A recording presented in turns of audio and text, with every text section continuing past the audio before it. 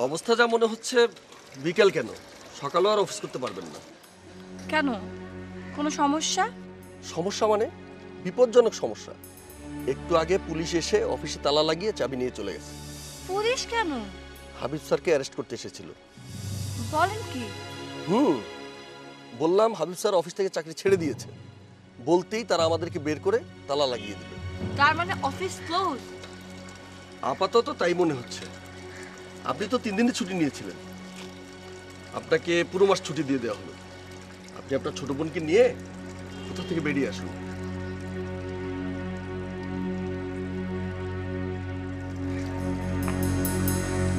আমরা দাঁড়িয়ে থেকে লাভ কি?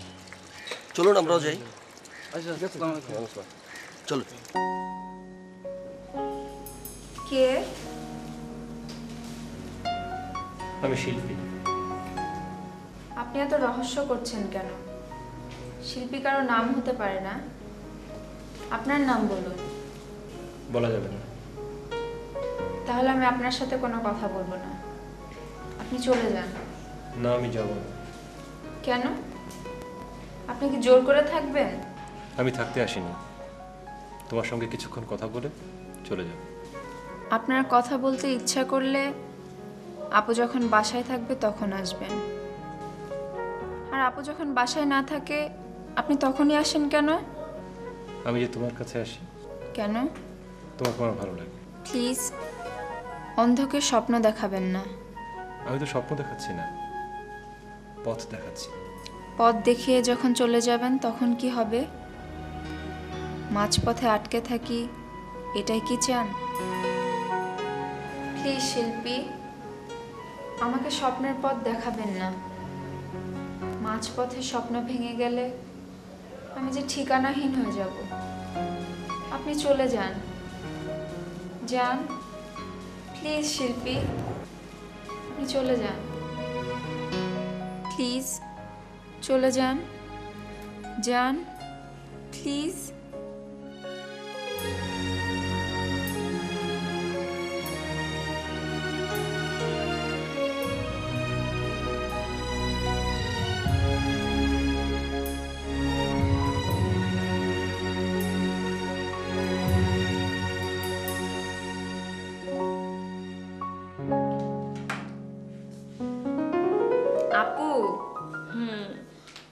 থেকে এত তাড়াতাড়ি আসলি। অফিসে গিয়ে দেখলাম কোনো কাজ নেই। তাই তাড়াতাড়ি চলে এলাম। আপু হুম? আজ না আমার স্যুপ খেতে ইচ্ছে করছে। কিন্তু ঘরের বানানো না চাইনিজের। ঠিক আছে আজকে আমরা দুজন অনেক ঘুরবো ঘুরে টুরে চাইনিজে যাব তারপরে স্যুপ খাব। ঠিক আছে? অনেক ঘুরে লাভ কি আপু? আমি তো কিছুই দেখতে পারব না। আমার চোখ আছে না? আমি চোখ দিয়ে দেখব। আর তুই অনুভব করবি? সত্যি তো। তোর চোখেই তো আমার দৃষ্টি আমার স্বপ্ন। আচ্ছা ঠিক আছে দেরি হয়ে যাচ্ছে। ওঠ চল রেডি হই। ওঠ ওঠ।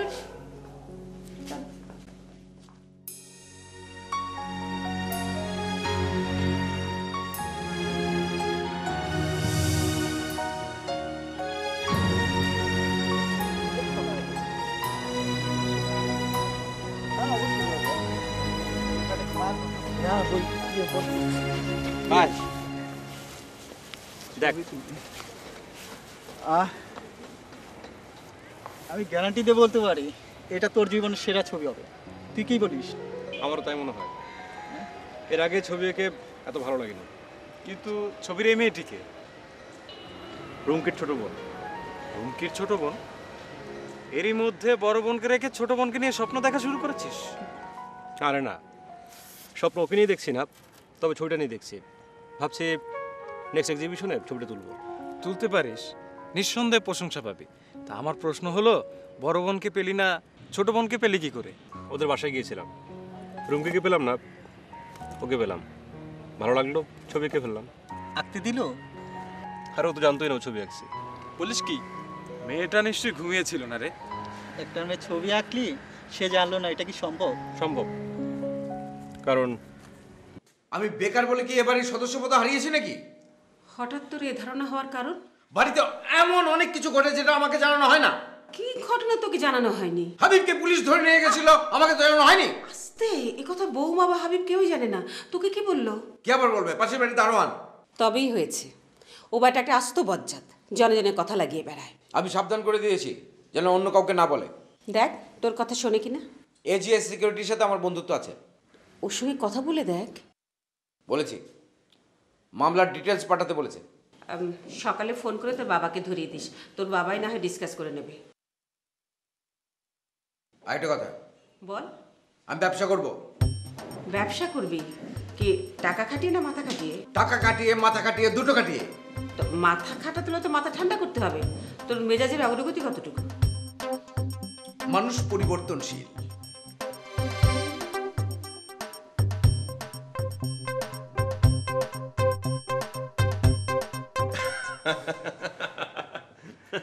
তোর ছাত্রী কিন্তু বেশ আশাবাদী।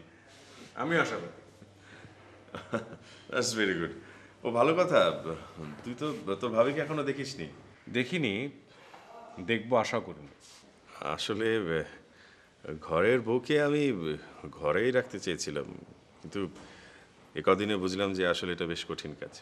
তুই ভাবে কি নিয়ে কোথাও যাস না? সময় পেলাম কোথায় বল? যা তোর ভাবিকে ডেকে নে।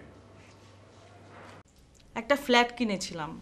ফ্ল্যাটটা আগামী মাসে ডেলিভারি দেওয়ার কথা ছিল। কিন্তু আজকে শুনলাম ওদের বিরুদ্ধে নাকি মামলা হয়েছে।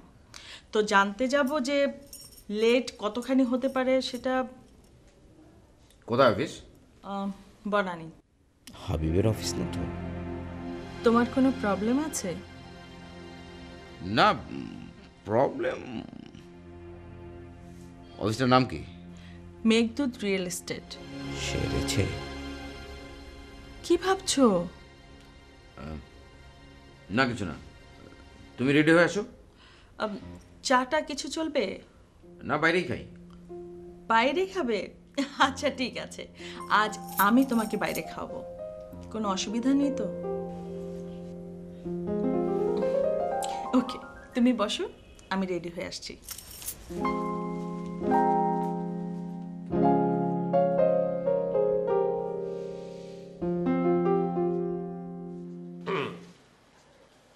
না শব্দটা আমি শুনতে চাই না।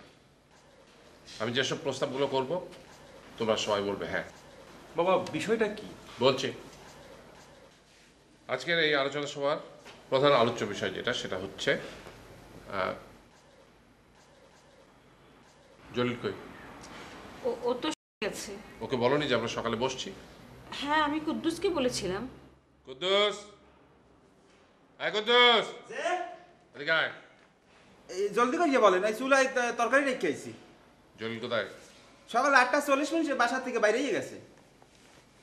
কোথায় গেছে? হ্যাঁ তো কইতে পারি না। তুই ওকে বলিসনি থাকতে? বলছিলাম কিন্তু সে বলল যে মুই এই পরিবারের ছাগলের তিন নাম্বার বাচ্চা মুই থাকলেও যা না থাকলেও হইয়া। ইডিয়েট কেডা? মই না বাইজা চাপ! বেশি কথা বলে। যা!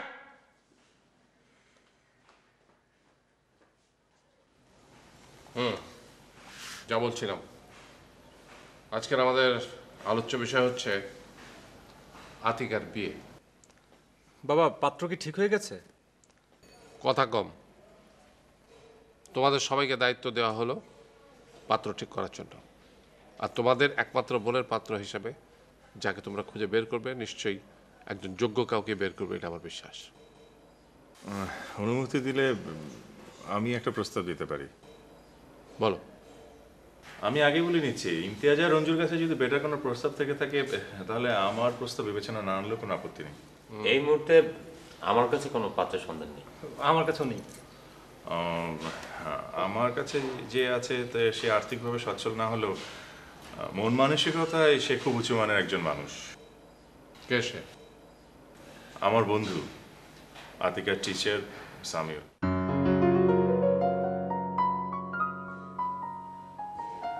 কিন্তু ওর বাড়িঘর বংশ পরিচয় কিছুই তো জানি না। আমি সবই জানি। তুই যখন সবই জানিস নিশ্চয়ই জেনে শুনে তোর বোনকে তুই জলে ফেলে দিবি না। ভাইয়ার প্রস্তাবে আমি রাজি বাবা।